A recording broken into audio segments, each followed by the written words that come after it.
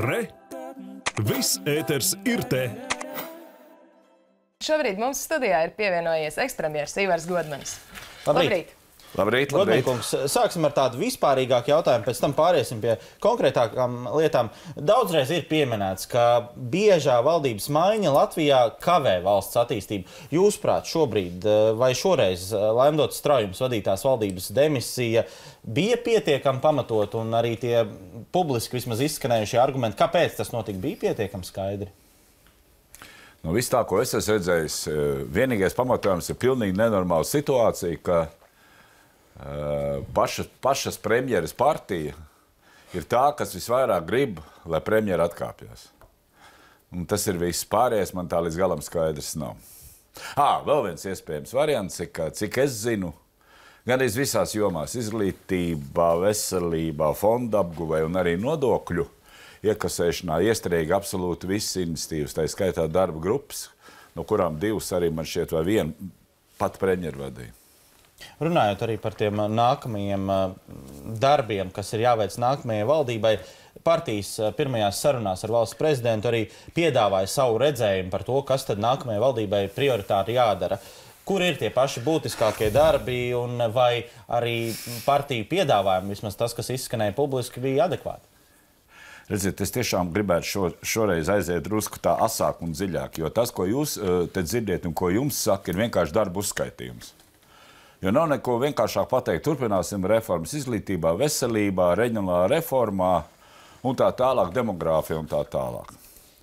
Bet, ja, piemēram, nu, hipotētiski es būtu prezidents un man būtu jāizšķirās starp kandidātiem, varbūt ne tik daudz es pievērstu uzmanību nu, tieši kas tā ir pa personu, arī, protams, bet man būtu, es uzprasītu faktiski četras lietas. Pirmā lieta ir izglītība. Ko darīs kandidāts? Viņš piekritīs līdzdas spiedienam. Un šos 9 miljonus, kas bija plānots uh, nākamā gada no septembra samaksāt, jau reformas ietvaros, kad samazinās kaut kur ap 2000 slodzes, lai tiem, kas paliek pārskolotājiem, alga tomēr būtu lielāka. Piekā, piekāpsies līdzdē un izdalīs visiem. Un piekāpsies pašvaldībām uz to, ka arī piecgadīgos maksās valsts. Un neatrisinās jautājumu par lielo skolu direktoriem, kuriem faktiski samazinās pie jaunās trepasāles. Ja viņš to darīs visos jautājumos, tad viņam jāatrod nauda no kaut kurienes klāt. Ja neatradīs, tad faktiski neizdarīs neko. Rītā mums būs veselības ministrs. Viņš var mocīties, un viņš nāks un stāstīs jums par tiem desmit miljoniem un tā tālāk. Tas viss neatrisinās jautājumu. Tāpēc kandidātam būtu jādod uz jautājumu. Mēs Latvijā esam vienīgā valsts Baltijā, kam nav veselības apdrošināšana. Bet veselības apdrošināšana šeit viens raidījums bija Guntim Bojāram. Tur arī sapinās, apzināti laikam, jo tur jāsaka godīgi. Lai mēs varētu veselības apdrošināšanu iedibināt, tā ir papildus nauda. Lietuvā 6% no brutto algas samaksā katrs iedzīvotājs kopējā katlā. Latvijā tas iznāktu, ja 6% viss maksātu apmēram kaut kur uh, nepilnīgi 400 miljonu klāt. Un tas jā, jā, jāmaksā darba ņēmējiem. Igaunijā arī apdrošināšana.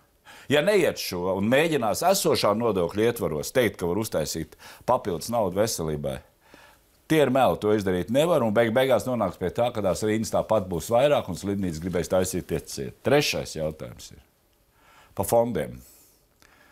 Ir milzīga starpība. Pagājušā septiņgadē uz 1. janvāra 15. gada mēs neapguvām, salīdzinot Igauniju Lietuvu, pusmiljardu. Pusmiljards neienāca ekonomikā. Vilcieni, tur salas un visādas tādas lietas. Tagad, cik es vakar noskaidroju, apmēram druskuļi vairāk kā 50% noteikumu tika apstiprināti. Tas nozīmē, ka vēl konkurss jāsludina, vēl jāsaka kaut ko darīt. Būvnieki jau protestē, ka nav ko būvēt. Bet te ir milzīga starpība. Ko izdarīs kandidāts? Lai šo te tempu nevis tikai pātrināt, bet viņš ir burtiski divi gadi pagājuši un faktiski īpaši mēs runājam par pašvaldībām, par reģioniem, kas gaida šo naudu, viņam atnākusi nemaz. Ja to lietu neizdara, tad būs viens ļoti liels risks. Atbrauks Eiropas komisija 17. gadā, un tas ir likumā. Es to likumu arī taisīju pats parlamentā. Un viņi redzēs, ka netiek nauda apgūta atsevišķās uh, virzienos, viņi viņus ņems nost. Šo naudu ņems nost, pārdalīs uz citām vietām, iedomājieties, kāds tad haoss iestāsies. Un pēdējais jautājums. Es jums nosaukšu vienu skaitli. 14. gadā Igaunija uz vienu cilvēku iekasēja pat ceturdaļu vairāk PVN galveno nodokli nekā Latvija. Šie 26% parāda, pat cik mūsu melnā ekonomika ir smagāka nekā Igaunijā lielākā mērā. Un var teikt, ka Igaunijā varbūt vairāk pelna. Nē, privātais patēriņš tikai par 6% ir lielāks. Tā starpība 20% ir tikai tas, kad ir PVN schēmas, ir naudas neiekasēšana. Ir pilnīgi bezcerīgi kaut kur mēģināt vēl citus nodokļus celt augšā, jo nebūs jau cits iespējas finanšu ministram. Jo, ja gadījumā visus šos izdevumu daļas jautājumus grib risināt tādā veidā, ka ņem tikai likt valsts naudu, valsts naudu, valsts naudu, tad ir kaut kur viņi jāņem. Papildus nodokļus praktiski likt nevar. E, Tāpēc jautājums ir, kur? Kā šo te 25% starpību mazināt? Un šeit neiet runa par pilnīgi maziem uzņēmumiem, tur frizētavām vai, vai, vai, vai protams, daļēji, vai, teiksim, nosacīt tur uh, automašīnu remontu, teiksim, servisiem. Nē, nē, šeit iet runa par lielām lietām, acīm redzot. Un tad man ir jautājums arī kandidātam būtu. Mums ir struktūras, knāps, finanšu policija, kas ir, nu, finanšu ministrijas, arī ekonomikas policija darbojās. Katrs jau kaut ko tur dara, jā, vairāk vai mazāk. Bet varbūt kā paskatīties šo jautājumu tā, ka varbūt tomēr ņemot vērā šo te vienīgo iespēju, kā var dabūt naudu klāt, lai varētu risināt tos pirmos jautājumus, nu tad varbūt jāpārstruktūrē kaut kā darbs ir. Nu, un pēdējais ir reģionāla reforma. Ar to jau nevar. Naudu, naudu, piemēram, noteikums apstiprinās. Šo naudu varbūt dabūs. Vai tiešām mēs paliksim pie sistēmas, ka mums pavisam, visam mazi, mazi novadiņi, kam faktiski, kā mēs skatījāmies no tiem 112 novadiņiem, kam nav ne kapacitāte, nekas šo naudu atkal kaut kā vai nu sadalīs, vai izmantot nevarēs. Un tāpēc jau uz šiem jautājumiem var konkrēti atbildēt. Nu, tad ir cita lieta. Vismaz arī riskējot, pasakot savu pozīciju. Ja tā lieta paliks kā līdz šim dzirdēs, ka jums nāks kandidāti un arī partiju vadītājiem stāstīs, ka viņi turpinās reformas, tā līdz galam nepasakot, kurā virzienā un kā. Tā nav slepena lieta. Es saprotu, ka nav vēlēšanas, var tagad savā starpā vienoties, un jūs te pagaidīsiet, un iedzīvotāji pagaidīs. Nu, tas jau neiet krastā. Nu, pirmkārt, nav ko slēpties.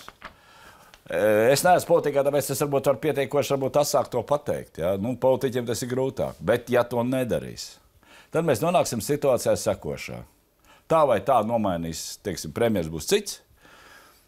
Un tad sāksies atkal nākamie simts dienas darba, kā jau te pareizi teica. Nu, it kā strādāja valdība, viņi iestrēga vairākās jautājumos. Bet nu, tas nenozīmē to, ka tagad viss atkal taisīs pa jaunu.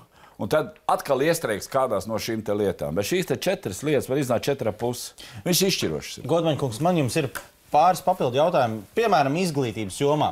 Tātad tas, ko jūs sakāt, ir, ir svarīgs jautājums, vai nākamais kandidāts izvēlēsies šos 9 miljonus, kur arod, kurus arotbiedrība grib iepludināt esošajā sistēmā. Vienkārši visiem, kas ir klāt padrusku. Vai viņš to, to darīs vai nedarīs? Jūsuprāt, kā būtu pareizāk rīkoties? Pareizāk noteikti nedarīt tā. Nepakļauties līdzi spiedienam. Jā, nepadoties spiedienam. Diemžēl Nu, tā tas ir. Tur, tur, tā situācija ir tāda, ja mēs paņemam to skolnieku un skolotāju proporciju, kāda bija pirms cilvēks sāk braukt prom un sāk mazāk dzimt bērnu. 2000 gads bija pēdējais, 15 gadus atpakaļ. Cik bija skolēni un cik bija skolotāji? Pavisam vertikāli, sākot no 1 līdz 12 klasē. Un šo te proporciju pārnest uz šodienu. Tad atvainojiet, mums ir apmēram 5450 skolotāju par daudz. Un kur ir tā nelaime? Nedrīkst jau skolotājiem teikt, ka viss ej uz ielas, jo nav tik vienkārši atrast, varbūt vietā, bet tā nelēma ir cita. Lai izlīdzētos visus šos gadus, ne jau tikai Straujams valdība, bet arī iepriekšējās. Ko darīja? Samazināja katram skolotājam likmi vai slodzi, kā saka. Un tā vietā, lai strādātu uz vienu, sāk strādāt laukos uz 0,5, uz 0,2 un vēl mazākām slodzēm. Tie ir 100 eiro, 70 eiro mēnesī. Un rezultātā Jūs saprotat, jūs 15 gadu laikā ar šādu rīcību esat uzģenerējuši lielu atlikušos visu skolotāju skaitu, no kuriem ļoti daudz saņem ļoti zemu algu. Un tad nebrīnieties, ka šie skolotāji būs neapmierināti pilnīgi ar visiem, sākot ar ministru, ar valdību, ar sabiedrību skolnieku vecākiem un nedod Dievs arī ar, skol, ar skolniekiem pašiem. Kādēļ nav domāts par to, kā risināt šo situāciju? Jā, bet tā situācija ir politiski ļoti smaga. Protams, ka viņi ir smagi. Es principā domāju, ka viens no variantiem, kas bija, bet nu, tas bija tikai piedāvāts variants kaut kur pusgadu apakaļ, bija tāds, ka tomēr jāpaskatās godīgi patiesībā acīs un jāsaka sekoši. Ir jāatrod mehānisms, kā kompensēt varbūt tiem cilvēkiem, nu, teiksim, pirmspensijas vecumā vai pensionāriem, kas skolā strādā. Jāsaka, ziniet, nu, ne, neiznāk nauda diviem teiksim, bioloģiskiem skolotājiem vai, vai, vai, vai diviem ķīmijas skolotājiem. Jo tad katrs saņems maz, bet tad ir jāatrod bija tas kompensējušās mehānisms. Es pat rēķināju. Cik tā nauda varētu būt, ja, piemēram, viena daļa no tiem skolot, skolotājiem, kas par daudz iznāk, nu, kaut kā pārprofilē no sākuma skolas uz, uz pirmsskolas iestādēm, tur starp citu pietrūka audzinātāji pret bērniem, ja mēs ņemam apakaļ 15 gadus. Un viena daļa mēģināt, teiksim, arī kaut kā pārprofilēt uz profesionāla tehniskām izglītības nu, iestādēm. Mums bija 120, divas, tagad ir 60 palikuši, un tomēr tūkstotis tur samazinājās uh, no pasniedzēju skaita. Un tad iznāk, kad, ka tā kompensācija, ja katram maksāt, piemēram, gada algu, brutto gada algu, toreiz rēķināja 700 eiro katram skolotājam. Tas ir viena gada 8400. Tad iznāca 22 miljoni, kas būtu jāmaksā kompensācijā. Vai paši skolotāji tam piekrīt, vai sabiedrība. Labi, atrodam citu variantu. Bet ja mēs to turpinām, un ja mums te nāks un stāstīs, ka mēs taisīsim atkal reformu izglītībā un iestrēgs jau tajā, Jo pie esošās, pie esošās modeļas, ko izglītības ministri izstrādāja, tur arī slodžu skaits. Labi, ministrs nepateica to kā politiķis. Slodžu skaits apmēram 2000 mazāks iznāk. Skaidrs, ka ir jāpieņem izlēmīgs lēmums. Pāriesim vēl pie tās nākamās tēmas, pie veselības, kur jūs arī pieskārāties. Es gribu arī mazliet tā, lai iedzīvotāji saprotu. Es saprotu, ka tas, ko jūs sakat, eh, ja mēs gribam ieviest obligāto veselības apdrošināšanu, tad ir pilnīgi skaidrs pēc jūsu teiktā, ka nauda būs jāņem no iedzīvotājiem. Jā no esošiem fondiem nesanāks. Tas nesanāks. ir ar to jārēķinās. Ja? Nē, nesanāks. Tas nozīmē, ka nākamajam veselības ministram tas skaidri jāpasaka. Es vēlreiz gribu teikt, Igaunijā, Lietuvā. Kopējais nodoklis ir 41%. Nu, Skādi briesmīgi. Mums ir 33,59%. Nu, starpīgi gandrīz ir 8,9%. Bet 6 no tiem, 6 no tiem procentiem, nu, gan ir 7 Lietuvā, ir tikai obligāta apdrošināšana. Ko tas nozīmē? Ka katrs darba ņēmējs no sevis maksā iekšā katlā. Nav tā, ka tā nauda ir tieši viņam.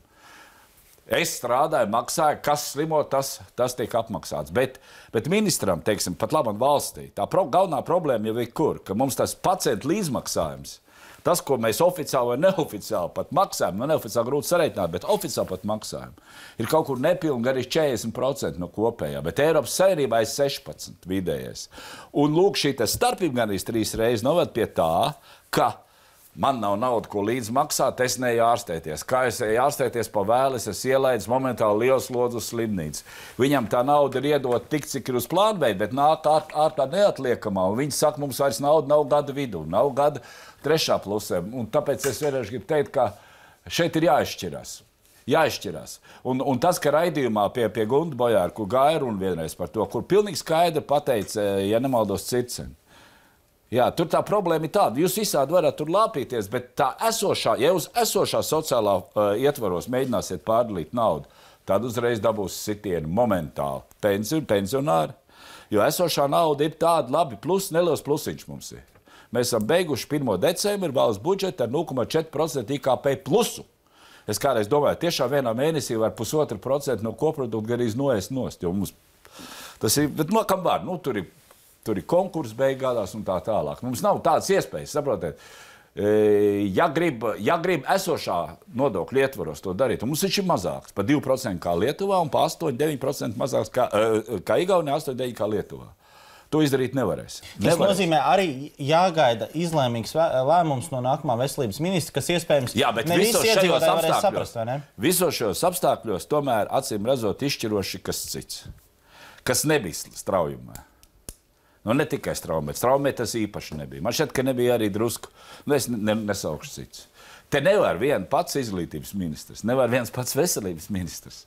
Un nevar viens pats finanšu ministrs ja par nodokļu iekasēšanu runājumu to izdarīt. Diemžēl visos šajos jautājumos te jābūt tā tādai vienotam kodolam, kur nav tā, ka sliktais ir izglītības ministrs, kurš tagad tur mazina skolotāju slodzes, ka vēl sliktāks ir veselības ministrs, kas saka, ka jāceļ ir, teiksim, obligātās apdrošināšanai vajadzīgais nodoklis. Nē, nē, nē. nē. Jābūt visiem kopā. Te jābūt tā, ka premjers, finanšu ministrs, finanšu ministrs un profilējošais ministrs ir viena varīgā. Tikko ir atstāts pa vienam, nu tad tas pa vienam viņi mocīsies, nekas neiznāks, paies kāds laiks. Nu, kur mēs būsim? Mēs tās problēmas tikai padziļināsim. Godmaņa kungs, vēl viens ļoti būtisks jautājums. Jūs arī jau minējāt šī struktūra fondu apgūšana, kas nenotiek. Kurš par to ir atbildīgs? Liela nauda tiek laista garām. Un vēl jau vairāk, ja tiešām 17. gadā atbrauc pārbaudīt. 17. gadā ir paredzēta pārbaude, kas pasaka uz 11 tematiskām prioritātēm. Ja kāds nav apgūts, tad to naudu pārdala uz citu. Kas tur ir vainīgs? Ir jābūt ļoti precīzi iekšā, lai saprastu, kur ir problēma. Es domāju, ka tur, cik es saprotu, viena no lietām ir tomēr, kad izmainīja struktūru nedaudz.